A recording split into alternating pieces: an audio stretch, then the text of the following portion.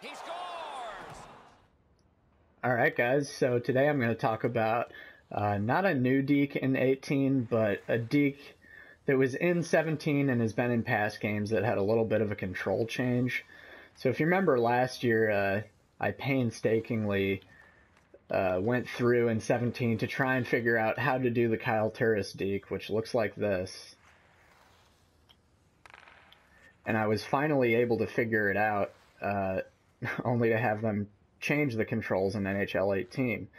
Um, but I'm not too upset about it. They actually made it a lot easier to do this year. You're going to want to pull back the right stick to about 5 o'clock as a right hander or 7 o'clock as a lefty.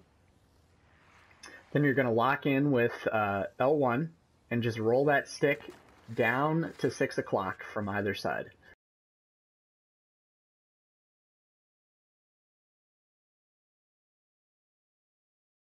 You might have a little trouble at first, but it's pretty easy to get down uh, once you get the hang of it. Um, sometimes if, if you pull it back too far, you're going to get the between the legs, so uh, that that might happen to you. Um, it, that's really the hardest part is just getting down to five and not going uh, too far one way or the other, or you know not far enough. Um, but once you get that down, it's really easy. You just roll it down a little bit. Takes kind of some precise stick handling, but it's really not that hard. And uh, you know, if you remember last year, it's it's still utilized in the same way.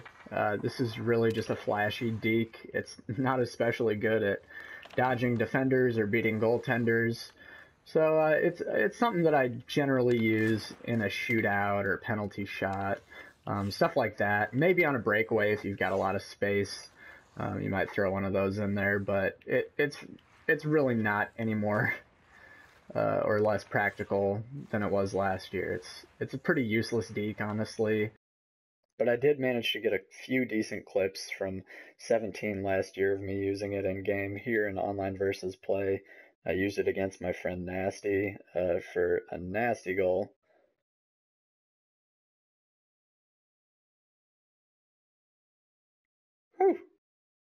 But really, this I mean, this is not the best deke. I've got a couple clips of me using it in uh, in 18 here.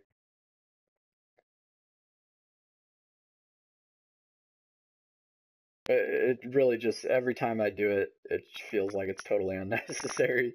Even if I did manage to get a couple goals here, um, but in the shootout and on the penalty shot, it can be really fun. I mean, look at this. This is maybe the best shootout goal I've ever had. but uh, anyway, guys, that's the Kyle deke. Let me know if you like this video, and I'll see you next time.